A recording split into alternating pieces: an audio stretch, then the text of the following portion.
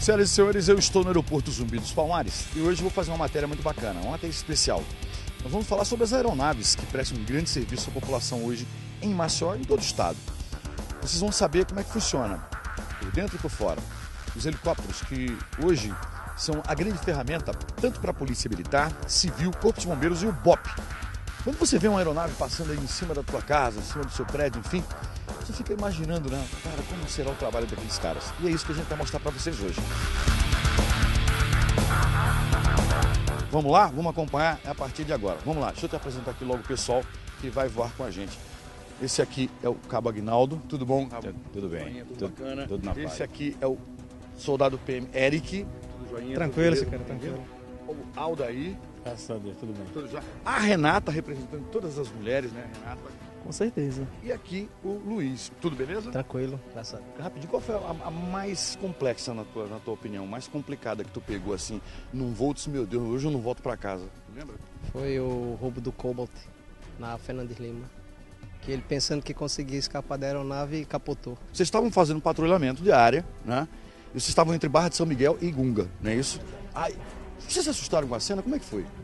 Primeiramente, gente viu uma cena rara que era. Eles estavam pedindo socorro e com a caixa de isopor mesmo. No meio do. Entre o Gunga e a Barra, acho que tinha uns 13 km de distância da costa. Isso mesmo. E já estavam exaustos? Né? Estavam.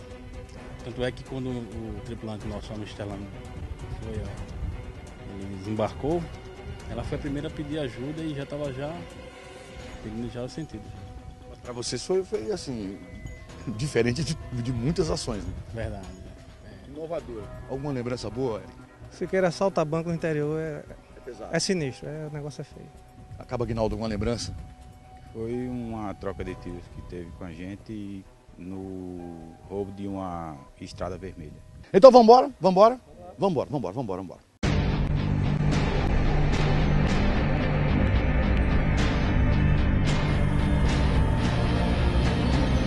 A preocupação dos pilotos e dos policiais a bordo da aeronave é justamente essa: ficar de olho em tudo. Tudo para eles é suspeito. Um posto de gasolina, pouca movimentação de frentista, é estranho. Vamos ver o que está acontecendo. Casa lotérica é também atenção da polícia, chama a atenção da polícia. E daqui a visão é privilegiada e é um grande apoio para quem está em terra. Bom, a gente está sobrevoando do Valde Monteiro, né? aqui onde fica um aglomerado de muitas casas de comércio, de negócios, enfim. E essas casas também são alvos fáceis para os bandidos que sabem da dificuldade do trânsito de Maceió hoje, que é simplesmente um caos. Vocês imaginam uma viatura, mesmo com sirene aberta, para que ela chegue numa ocorrência igual essa, tem que ter muita sorte. Mas com o apoio do, do aéreo, tudo fica mais fácil.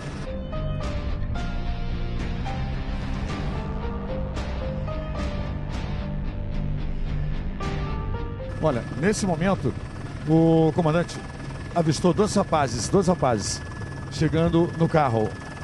Um entrou, o outro tá lá de fora. Ó, estão saindo de ré agora. RP mandou parar. Apoio em terra. Vamos acompanhar a partir de agora, hein? Ó, seguindo orientações da aeronave, passaram, eh, pediram apoio em terra. E assim foi feito. O rapaz está sendo abordado agora. Ele estava na favela com um veículo caro, que chama atenção, um veículo modelo novo, né? O que chamou a atenção dos policiais da aeronave, pedindo para averiguação. Lógico, o cara é um, o rapaz é um suspeito que pode, ele mesmo, o dono do veículo, está sendo vítima de um possível sequestro, de uma extorsão, enfim. Olha lá.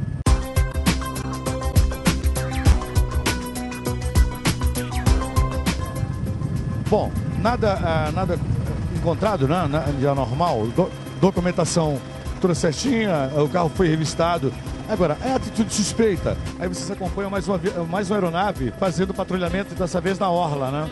Tivemos o privilégio, a honra de trabalhar hoje com duas aeronaves da Polícia Militar.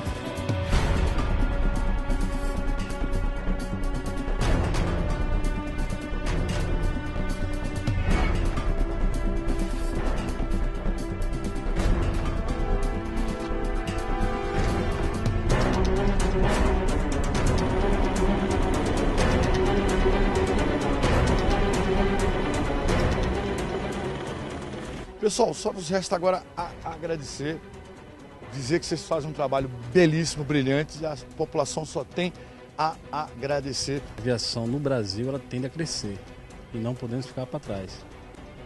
Hoje temos que avançar mais na área policial, comprando mais aeronaves e também enfatizando muito o resgate, que a gente está caminhando ainda para o resgate. E hoje não dá mais para fazer segurança pública sem aeronave.